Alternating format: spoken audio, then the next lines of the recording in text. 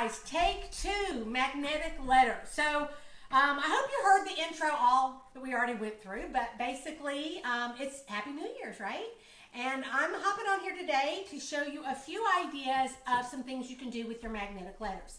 Now, you might have seen an earlier video that I did on magnetic letters where we did uh, letter sorts and we did beginning and ending sound and we did short vowels. Today it's going to ante it up a little bit. Today we're going to be talking about blends and digraphs and long vowels. And instead of just looking at sorts, looking at a group of letters and deciding which one doesn't belong. So let's go ahead and start there. So what I did was I made these little cards that had a series of letters. Now, I was intentional when I made the cards. I have them numbered up here in the corner and I have a cheat sheet that says, you know, number four is this uh, which letter doesn't belong. But we want to remember that the kids might come up with a different idea than we did, and as long as their idea makes sense, then of course we're going to go, go with that too. All right, so what they do is they just get out the letters, and then they have to look at all the letters and decide which one doesn't belong. So let's see how good you are. Which one of these would you say didn't belong? Type your type the letter in the comments. Let's see who's the first one who can get this right. Because sometimes they're tricky. So anybody guess? Anybody guess, Andy? All right, so here, of course, it is the L, because all of these are short letters, and L is the only tall letter. Now, you might have had a different reason, way, like I said, and that would be just fine. Okay, so we did beginning sounds, um, but this time we're going to do beginning blends and digraphs. Now, you can always leave your cards like this, or if you want to be able to you know, easily pick which cards you want. You can also cut your cards apart like this. Now, I put the blank spaces at the beginning so the kids would know we were looking for the beginning blend or digraph. So then they just put the letters cheese and crown and clover and chick to make those different um, beginning blends and digraphs, okay? All right, now, we can also do that same thing with the ending sound. Now, to me, it was really easy for me to go through my clip art and find pictures for beginning blends and digraphs. But when it came to finding ones for the ending blends and digraphs, to be honest, I had a harder time. I wasn't quite sure what all the ending blends uh, could be. So what I did was I just went online on, on Google. Aren't y'all proud of me? Because y'all know that I'm tech challenged just went online and I did a search for words. Then, as I was reading through the words, I would just think, oh, I've got a clip art picture of that one. Let me go snag that one. So that's kind of an easy way if you don't have a complete set of clip art that is just ending blends or ending digraphs, how you can use the clip art that you already have in order to be able to do that. Okay? Now, the next one we did uh, was working with word families. Now, what I'm going to do here is I'm going to give them a card that has all one word family. Then they're going to have to find the pictures that go in that family. So here we have to find the ache family. So we have rake, cake, and lake. Now you're going to want to give them some odd man out cards so they can't always just know um, the right one.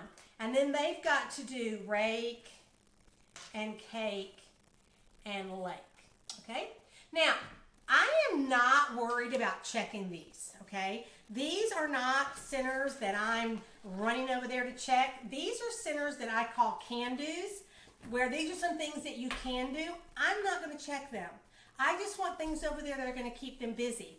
But if I ever did want to check them, I got this idea from another teacher, was just to put a device down there, a phone, an iPad, something like that, that the kids can just put their name card on the floor, take a picture of their work. You don't have to have a recording page for everything they do if you'll let them use your device to take a picture. Okay, so then we're going to go to spelling patterns, okay? Long vowel spelling patterns. Now what I've got here is these are ones that all have the E, the, the E at the end, the CVC E words. So these are to me are easier than um, the CV C, CVVC words, okay? Now, so here they would make race, and then they would make face, if I can find my F. All right. Now, what are we going to do if they put an S on there?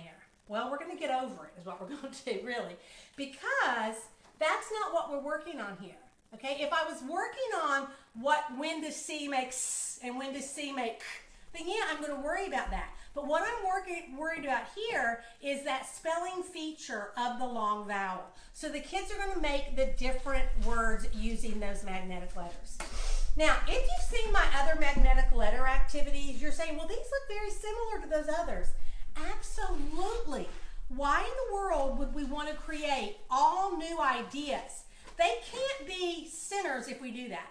They have to be small group activities because what we want kids to be able to do is go over there and say, oh, I know what to do with these because they've seen this kind of stuff before.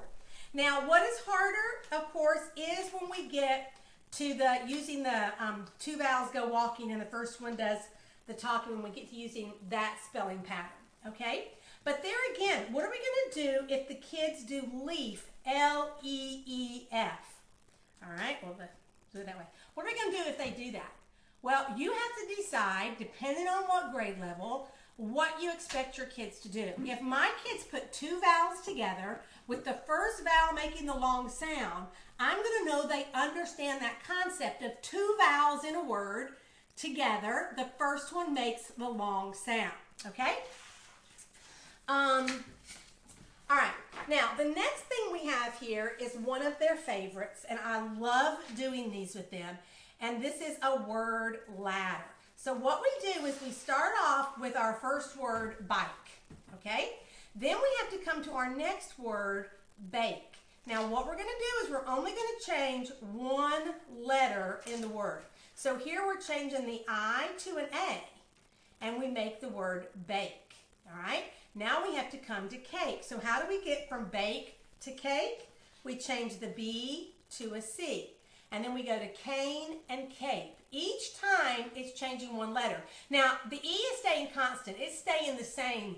It's not going to ever change. But in the other words, eventually I will change the first sound, the, the, the long vowel, and the ending sound. Okay, not the ending letter, but the ending sound will change as well. Okay? All right, so the last idea that I'm going to show you are these. Um, and I made these earlier. My kids have done these with two and three letter words, but these are three and four letter words. So these are. Oh, these cards. Did y'all not see that? Okay.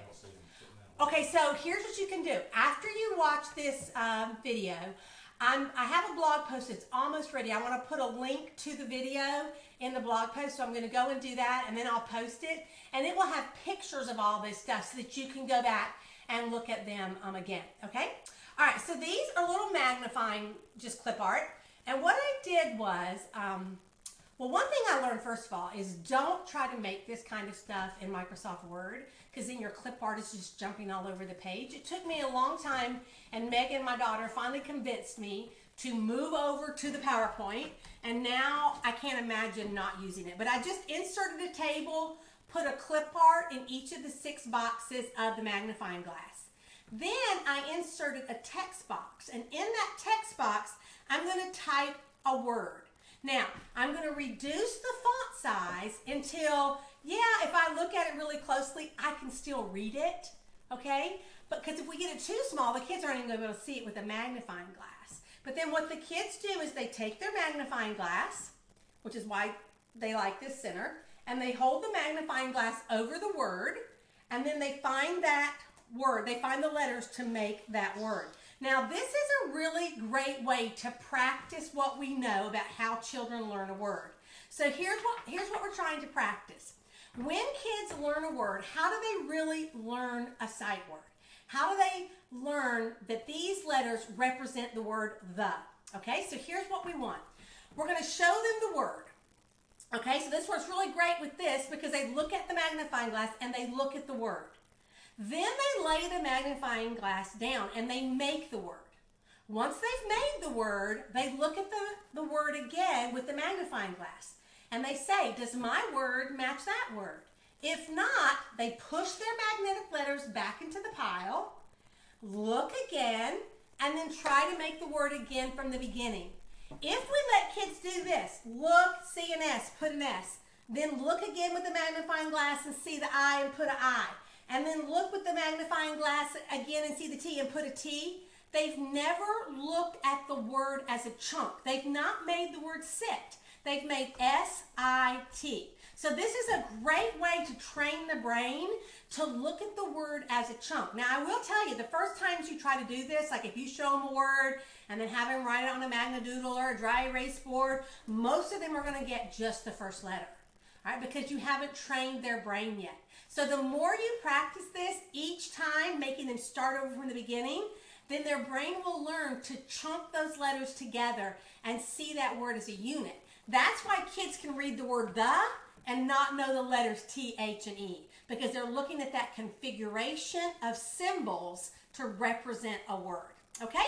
So I'm going to have these all, like I said, on my blog. Um, I'm going to be back on here Wednesday. Um, I'm going to show you, um, you know, I've done where we've done our pattern blocks and we've done Unifix cubes. On Wednesday, I'm going to show you a bunch of ideas to use with your colored tiles. Okay?